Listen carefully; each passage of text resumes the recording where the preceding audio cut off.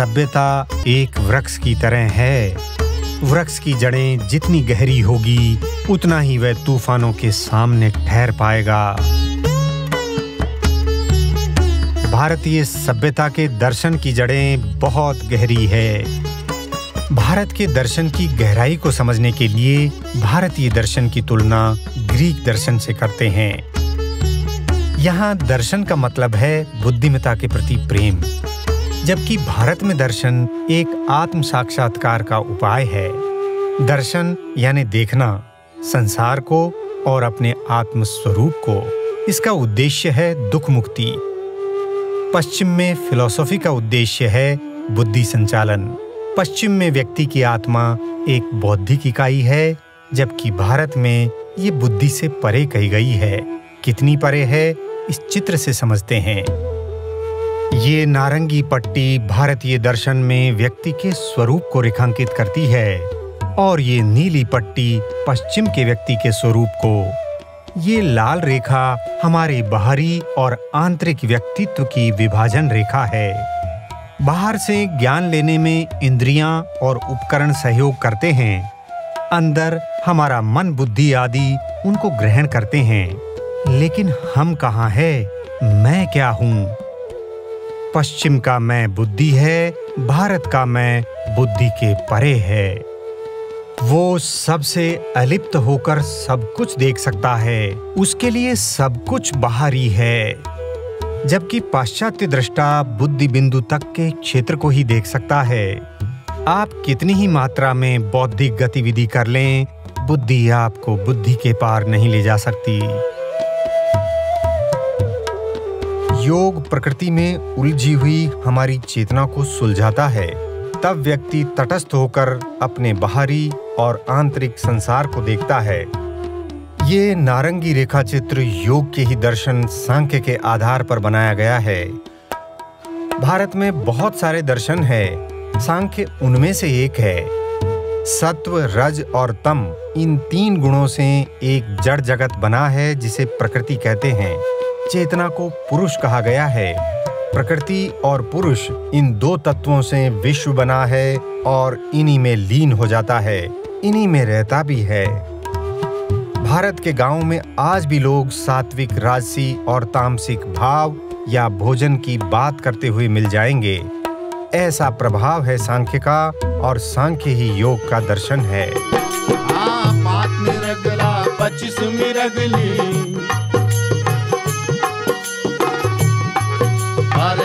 में तीन शिकारा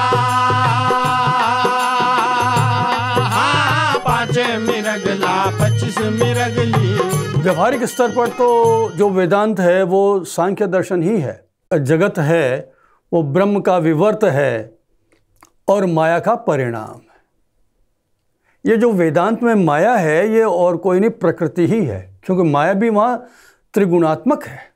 अब हुआ ये कि जो प्रकृति सांख्य में अत्यंत बलशाली और प्रभावशाली तत्व था, वो वेदांत में निरीह हो गया।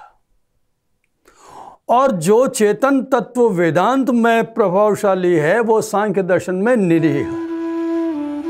उपनिषदों ने सत्व, रज और तम इन तीन गुणों की उपमा सफ़ेद, लाल और काली बकरी से दी है। क्या तीन गुणों वाला सांख्य सब भारतीय दर्शनों का प्रतिनिधि हो सकता है? इस विषय में एक सच्ची कहानी बताते हैं। एक बार अमेरिकी प्रोफेसर जेराल्ड लार्सन वाराणसी में पंडित गोपीनाथ कविराज से मिले। कविराज जी आधुनिक समय में भारतीय धर्म साधना के सबसे प्रकांड विद्वान माने गए हैं। उन्होंने जेराल्ड से पूछा, तुम किसका अध्ययन कर रहे हो? जेराल्ड ने कहा, मैं प्राचीन भारतीय दर्शनों में से एक सांख्य का अध्ययन कर रहा हूँ।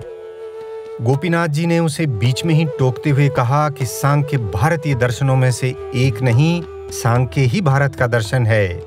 इस बातचीत में सांख्य के व्यापक प्रभाव की पुष्टि होती है।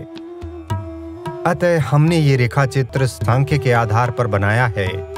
और ये नीला रेखा चित्र चाहे वो बुद्धिवादी हो या अनुभववादी या फिर आधुनिक अस्तित्ववादी कोई भी दार्शनिक इस बुद्धि बिंदु को नहीं लांग पाया है। मनोवैज्ञानिक भी नहीं। जो ईगो फ्राइड ने पकड़ा है, वह बहुत सतही है। योग का ईगो अहंकार, अस्मितानुगत समाधि से प्रत्यक्ष होता है। सच तो यह है कि हम इंद्रिय संवेदनाओं तथा मानसिक और बौद्धिक द्वंद्वों में ही जीवन गुजार देते हैं। ऐसे जीवन को योग ने अप्रसन्न जीवन कहा है। जो प्रसन्न हो गया, वो दृष्टा हो गया। जो इस बुद्धि तक ही सीमित रह गया, वो भोक्ता ही बनकर रह गया। भोक्ताओं की सभ्यता हमें उपभोक्तावाद की ओर ले जाती है और दृष्टाओं की प्रसन्नता की ओर।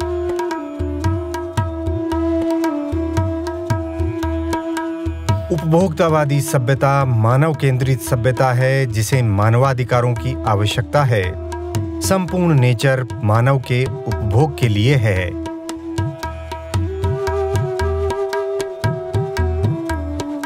हवाई विश्वविद्यालय के प्रोफेसर रमेल ने मानव के विनाशकारी स्वभाव का बहुत गहराई से अध्ययन किया है। उन्होंने प्रकृति और मानव के संबंध के बारे में विश्व में तीन आधारभूत दृष्टिकोण पाए हैं। पहली पश्चिम की जुड़ो क्रिश्चियन संस्कृति, दूसरी हिंदू बौद्ध संस्कृति और तीसरी चीन की कन्फ्यूशियस ताओ संस्कृति। पश्चिमी संस्कृति की मुख्य धारा प्रकृति से अलगाव की है। प्रकृति के प्रति व्यवहार शत्रुतापूर्ण है। प्रकृति का अध्ययन और खोज करके उसका उपभोग होना चाहिए। पश्चिम का मानव प्रकृति को जीतने में लगा है। चीन की मुख्य धारा प्रकृति और मानव में समन्वय की है। लेकिन इन सब के विपरीत भारत में प्रकृति मानव की स्वतंत्रता की सहायक रही है। हमारा भोग और मोक्ष उसी के हाथ में है। समाधि में योगी उसी के धर्मों को जानता है। प्रकृति ही है धर्म की गुरु। आइए हम धर्म को जानते हैं।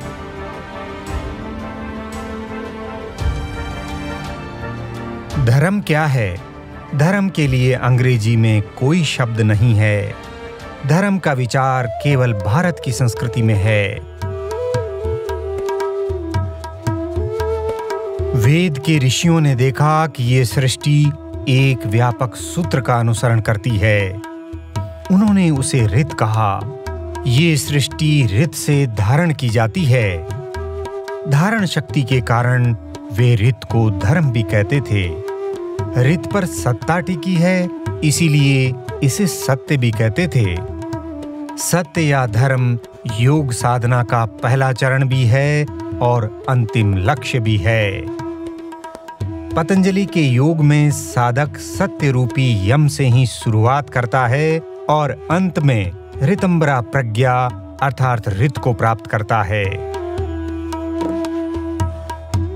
जब बुद्ध कहते हैं कि मैंने पुरातन पथ को देखा और उस पर चला तो वे धर्म के ही मार्ग की बात कर रहे हैं। ये मार्ग बहुत कठिन है। बिना राग के बंधनों को काटे केवल किताबों के पढ़ने से धर्म नहीं जाना जा सकता। इसकी कठिनाई का स्मरण करते हुए भगवान बहुत भावुकता से कहते हैं, अरे, मैं माँ बाप और पत्नी को अश्रुमुख छोड़कर आया था। ज्ञान पाने के लिए सिद्धार्थ ने कई प्रयोग किए थे। एक समय कठोर चंद्रायण व्रत भी किया था। चंद्रमा की कलाओं के अनुसार गिनती के ग्रास खाते थे। 24 घंटे में केवल एक बार पूर्णिमा को पंद्रह, चौदस को चौदह, घटते घटते अमावस्या को कुछ नहीं। शरीर कंकाल हो गया। भिक्षा के लिए उठे और चक्कर खाकर गिर पड़े। बेहोश हो गए। लोगों ने समझा सिद्धार्थ की मृत्यु हो गई। संदेशक ने राजा शुद्धोदन को सूचना दी, राजन, आपके पुत्र की मृत्यु हो चुकी है। जब से सिद्धार्थ गए, राजा का मुख आंसुओं से भीगा ही रहता था।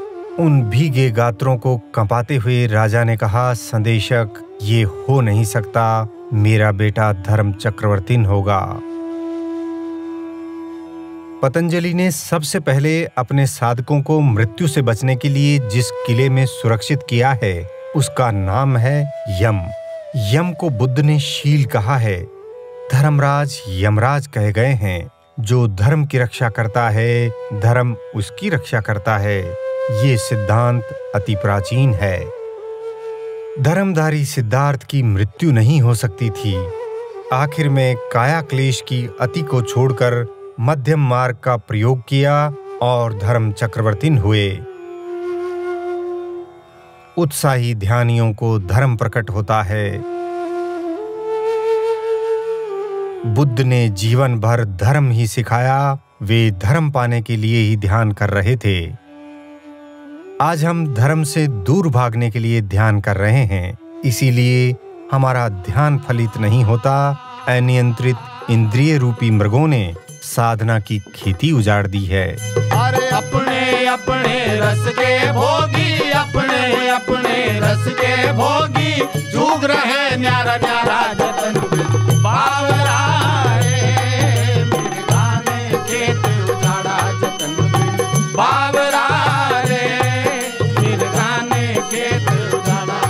कबीर के जतन, पतंजलि के यम, बुद्ध के शील और महावीर के महाव्रत धर्म का ही अभ्यास करा रहे हैं। अहिंसा परम धर्म है, लेकिन धर्म की रक्षा के लिए की गई हिंसा भी मूलतः अहिंसा ही है। परिस्थितियाँ बदलते ही धर्म बदल जाते हैं, इसलिए धर्म शास्त्रों में कभी-कभी विरोधी विचार भी मिलते हैं। So Shruti is the Sanatana Dharma, the Vedas, which are permanent, eternal. And Smritis are the texts that are changing, things that happen in history. New events happen, new laws are made, society changes. So all that we learn about society, politics, history, science, human beings comes under Smriti.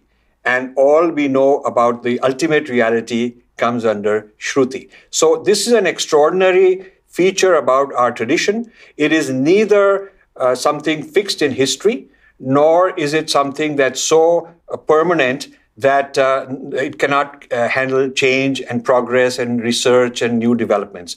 Uh, the Hindu Dharma, which is the modern term for the Vedic tradition, is both permanent, eternal, has a solid foundation, and it's also constantly evolving, adapting with the newest things happening in time.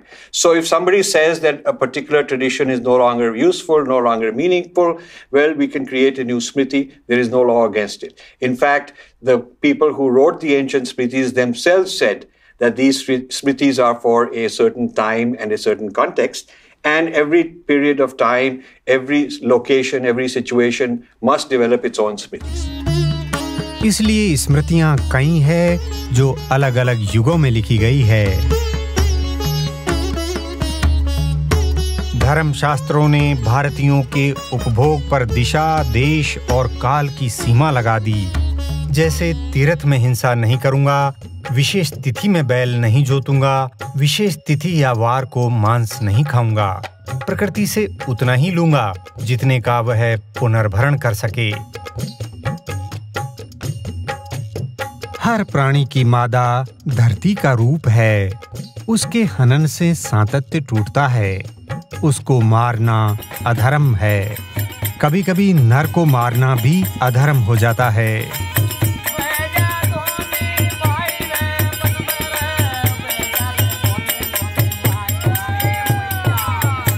ये लोग इस विषय में उज्जैन के राजा भरतहरि की कथा सुना रहे हैं। आज राजा भरतहरि ने एक नर हिरण को ही तीर मारकर घायल किया है। लेकिन लगता है इसमें भी अधर्म हो गया है। हिरणिया पीछे पीछे आ रही है। राजन, आप हम में से किसी एक का शिकार कर लें। हमारे झुंड में ये एकमात्र नर बचा है। उसको भी आप ले जा रहे हैं।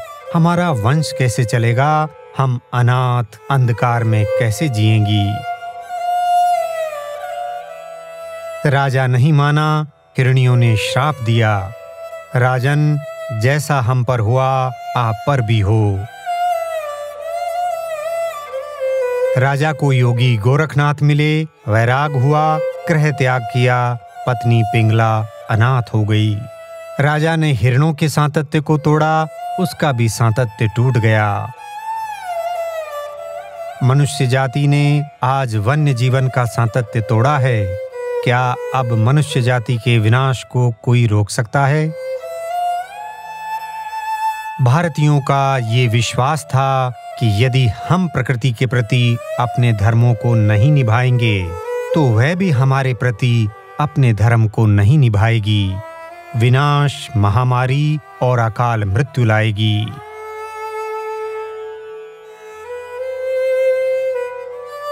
भारत के चारों प्रमुख संप्रदाय इस कर्म सिद्धांत को मानते हैं। जैसा करोगे, वैसा भरोगे। ये कार्य कारण ही पुनर्जन्म का आधार है। पुनर्जन्म कर्मों का उत्तरदायित्व है। मार्क्सवाद इसे नहीं मानता, इसीलिए निर्दयता पूर्वक हत्याएँ करता है। जिहादी और क्रुसेडर इसे नहीं मानते, सोचते हैं, उनके कर्मों को ऊपर वाला माफ़ कर देगा। या पुरस्कार देगा। इसीलिए निर्मम हत्याएँ करते हैं। भारत के कई संप्रदायों में भगवान है ही नहीं। आपको माफ़ करेगा कौन? आप और आपके कर्मों के बीच कोई नहीं है। भारत में जो भगवान है, वो केवल ऊपर बैठकर किसी एक आदमी का कान नहीं फूंकते। स्वयं देह धारण करके कर्मों का उत्तरदायित्व लेना सिखाते हैं। जैसे हज़ार बछड़ों के बीच एक गाय अपने बछड़े को ढूंढ लेती है, वैसे ही आपके कर्म आपको ढूंढ लेंगे। इसीलिए भारत के लोग विचार पूर्वक कर्म करते हैं। भारत कर्म भूमि है, दूसरी भोग भूमिया है। दूसरों का धन लूटकर और प्रकृति का दोहन करके लोग सुख भोग सकते हैं, लेकिन सुख मोह कारक है, बंधक है। तो स्वतंत्रता क्या है? मोह का क्षय अर्थात मोक्ष। मोक्ष का लक्ष्य जीवन की दिशा बदल देता है। अपनों को हूर की परियों के स्वर्ग और परायों को नरक पहुँचाने वालों ने धरती पर बहुत खून बहाया है।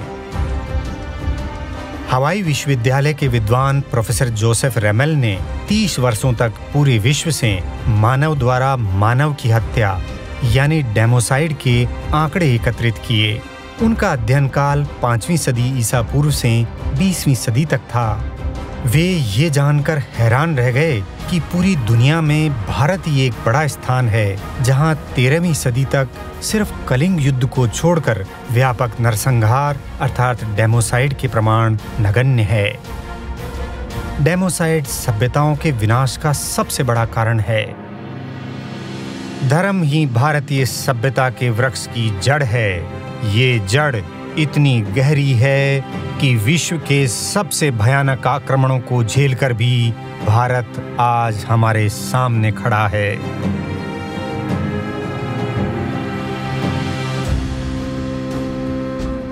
विश्व की सभ्यताएँ एक दूसरे के विनाश में लगी थी।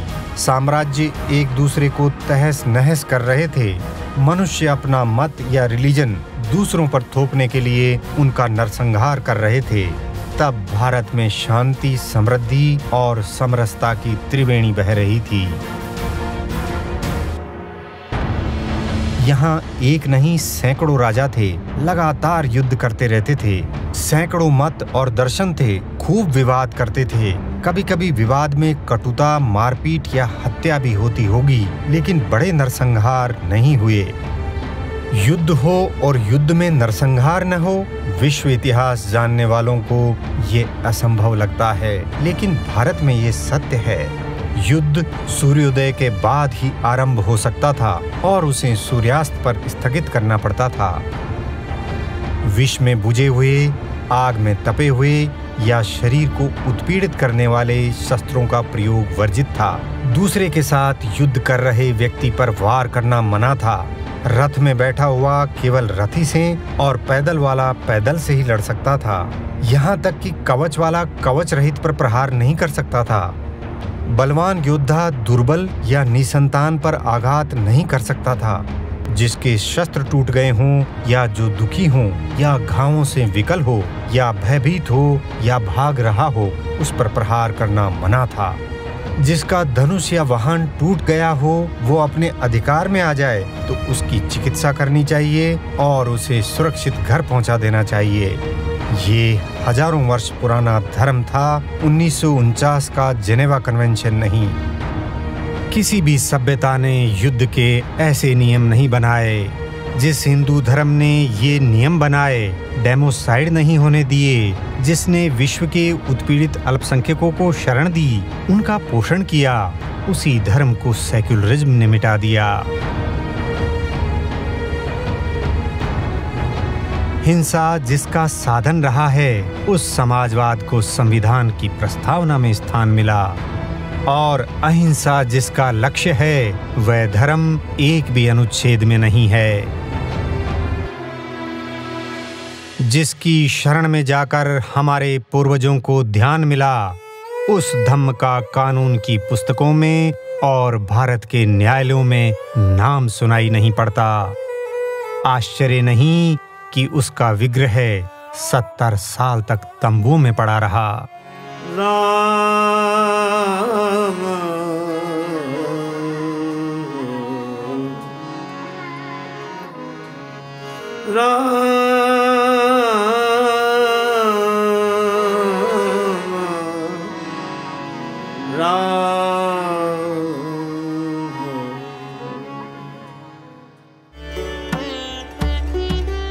रामायण हज़ारों पीढ़ियों के कंठ से गुजरी है। जितना नाटक इस ग्रंथ पर खेला गया है, उतना संसार के किसी ग्रंथ पर नहीं। हर वर्ष गांव-गांव में रामलीला होती है। हज़ारों कथाएँ साल भर चलती रहती है। कई गोष्ठियों में इस पर चर्चा होती है। संस्कृत, प्राकृत, तमिल, तेलुगु कोई ऐसी भाषा नहीं जिसमें रामायण पर नहीं लिखा गया हो। भारत का ऐसा कोई क्षेत्र नहीं जो रामायण के प्रभाव से बचा हो। रामायण का विस्तार प्राचीन भारत की सांस्कृतिक सीमाओं की याद दिलाता है। हिंदू, बौद्ध, जैन, सिख, वनवासी, ग्रामीण, विद्वान या निरक्षर सबने राम कथा पर अपनी छाप छोड़ी है। रामायण भारत की सबसे विशाल और गहरी निरंतरता है।